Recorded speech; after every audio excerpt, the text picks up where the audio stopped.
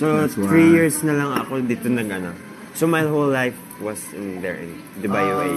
okay. Tapos dito na ako three years, 2019, December, November, ganun.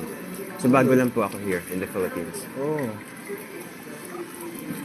Pero nakakatuwa dito. Pero Daming you talented. learn so fast. Parang ang bilis mo nakatuto ng Tagalog. Marami naman Amazing. pong mga Filipino doon, doon sa UAE. Ah. Marami rin. Dami talaga, sobra. Magagaling. Kahit saan, ah, kahit saan ka punta, may mga Pilipino. Meron. They're flexible in anything. Almost anything. I can see. Mga waitress, Filipina. Ah. Flight attendant, Filipina. Filipina. Filipino rin. Filipino nurse. Nurse, Mama- Filipina. mama's a nurse. Yeah, Ah, really? Filipina. Oh. Ako, my mom's retail manager sa, ano, ay, bawal sabihin yung girl. Okay, never mind.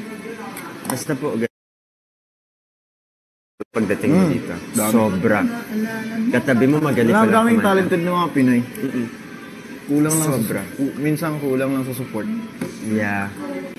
Pag nasuportahan ng maayos. Kailangan natin supportahan talaga. Mm. Nahihiya sila sometimes, pero pag mag-isa lang, ang galing pala. Oh. Yeah, ganun. Ganun yun. That's Filipino blood. And I'm proud. Oh. You should. Thanks, bro. Yeah, man. Ah, papatulo muna? Okay.